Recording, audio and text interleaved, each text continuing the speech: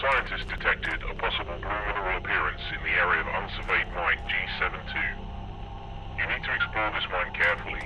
These minerals are priceless to us. You should take weapons and ammo